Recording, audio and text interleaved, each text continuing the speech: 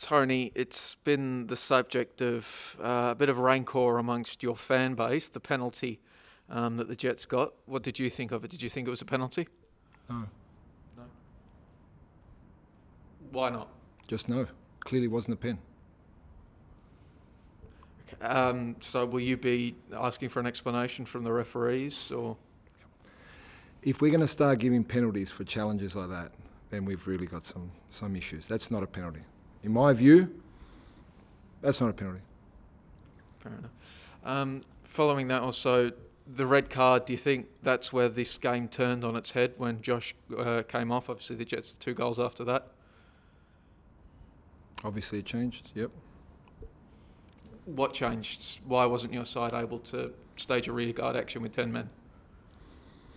Listen, they uh, they scored um, in those, in that moment in that period. Um, straight after the, the red card, which was Josh's second challenge. There's a challenge in the first half from Mikeltadze, which is a second yellow, but he had a yellow, so he didn't get a yellow card. Uh, and Joshy went, it was a challenge.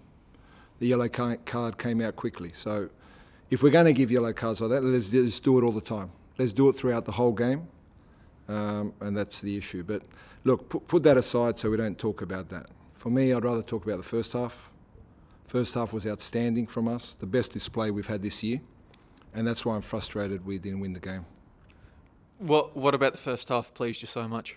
The whole display, the entire thing from start to halftime, with the ball, without the ball, controlling the game, creating chances. It was a fantastic display. Shows a lot of growth from the team. Um, so we're, we're definitely on the right track terms of character, I mean, even when you went down 10, you still kept pushing on. You almost actually pinched an equaliser in, in the end. I guess, what does that say about you guys that you just kept pushing even with that numerical disadvantage?